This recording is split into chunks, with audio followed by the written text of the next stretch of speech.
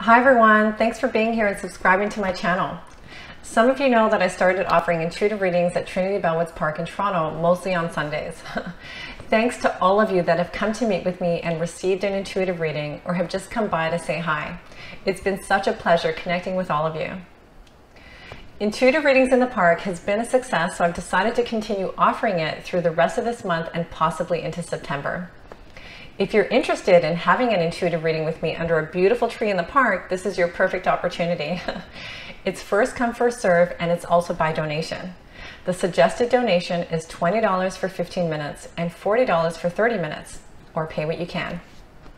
I'll be at Trinity Bellwoods Park tomorrow, that's Sunday, August 14th, from 1 p.m. to 5 p.m. I'll be on the south side of the park near Queen Street. You can look for my intuitive readings in the park sign to find me. To receive updates about when I'll be at the park next, you can subscribe to my email list or follow me on Instagram and Facebook to get notified about when I'll be at the park next. If you'd like to receive an intuitive reading with me but can't make it to the park, I offer intuitive readings online via Zoom, which you can book through my online calendar on my website. What can you expect from your intuitive reading with me?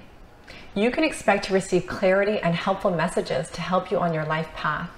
You can receive messages about your personal health and wellness, about your relationships, your career, and more. Communication with departed loved ones can also occur. However, please keep in mind that you bring the spirit to the medium and not the other way around. it has been my experience that departed loved ones may come through if you have a strong desire to communicate with them. Otherwise, they don't typically pop in or come through.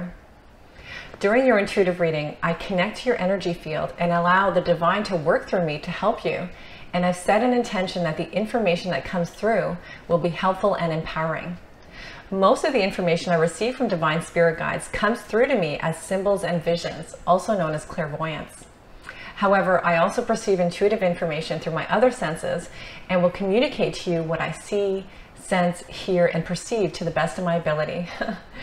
Let me know if you have any questions. Hope to see you at the park. Ciao for now.